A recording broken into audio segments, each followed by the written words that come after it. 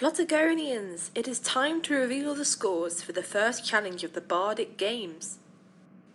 The elite competitors have made an amazing start. I'm seriously impressed by all of the submissions. I'll give the scores by country, lowest to highest. In last place is Elite Delta Victor of Query with 12 points. Query came last for Most Desirable Country, second for Best Video, second last for Best Speech, and fourth for Best Flag.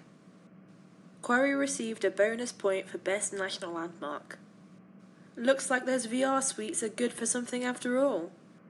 In joint fourth place with 13 points is Elite November Cobra from the country of La. La came fourth for Most Desirable Country, fifth for Best Video, last for Best Speech, and first for Best Flag. La received a bonus point for Best Tour Guide who is suspiciously pale for a beach dweller. Also in fourth place is Elite Muse Rain of Lutch. Lutch came third for Most Desirable Country, last for Best Video, first for Best Speech, and last for Best Flag. They received a bonus point for being the first to mention war. Let's just hope nobody annoys them. In third place is Elite Kilo Alpha from the country of Moroga with 15 points.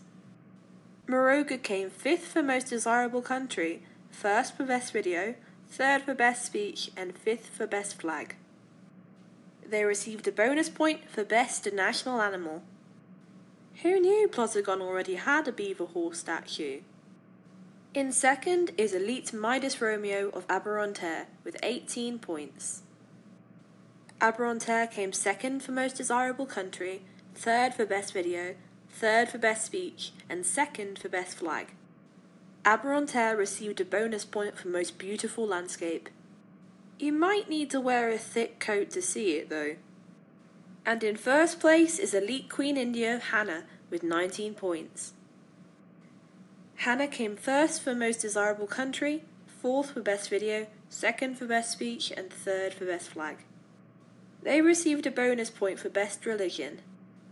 Though that flying pig might have to watch out for beaver horses. All of the videos were amazing, so their rankings mean nothing to their quality as contenders and protagonists. These are the scores so far.